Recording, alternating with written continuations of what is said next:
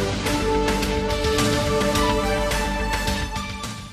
Dopo vent'anni di gestione privata, il patrimonio del comune è affidato alla partecipata Napoli Servizi. È uno dei passaggi più significativi del bilancio dei primi 18 mesi di attività dell'assessorato al patrimonio presentato da Sandro Fucito. Una svolta che ha inciso notevolmente su un settore nevralgico dell'amministrazione, oggi governato da un sistema di controlli più efficace, con un risparmio di circa 5 milioni di euro per le casse del comune. Maggiori risorse reperite con l'eliminazione di fitti passivi e ospitalità alberghiere saranno destinate alle politiche abitative, tra l'altro con misure a sostegno della morosità incolpevole e per un albergo sociale che darà ospitalità ad oltre 200 persone senza casa. Siamo il comune che sostiene attivamente la morosità incolpevole, abbiamo predisposto delle risorse, non aspettiamo il governo che latita, abbiamo normato una forma di albergo sociale 300.000 euro pochi per carità, in passato avrebbero ospitato solo 15 persone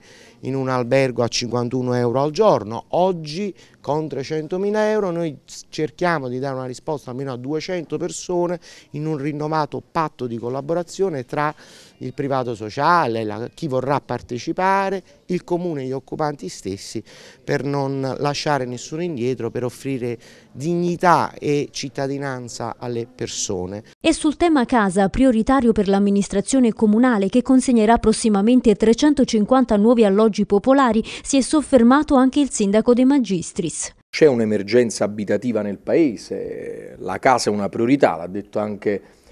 Papa Francesco recentemente, un'insensibilità nei confronti dei più deboli da parte del governo che si preoccupa più delle forniture delle armi che delle case, è un fatto di priorità, quindi continueremo una mobilitazione nazionale, soprattutto all'interno dell'Associazione Nazionale dei Comuni Italiani, ma anche come città di Napoli. Importante l'intervento di recupero e riqualificazione che ha interessato l'ippodromo di Agnano e il polifunzionale di Soccavo, mentre sono previsti progetti anche per il polifunzionale di Piscinola. L'assessore Fucito ha ricordato infine le attività messe in campo nel settore dei cimiteri cittadini ripristiniamo il trasporto pubblico cimiteriale, creiamo gli allargamenti, confischiamo i beni acquisiti illegalmente,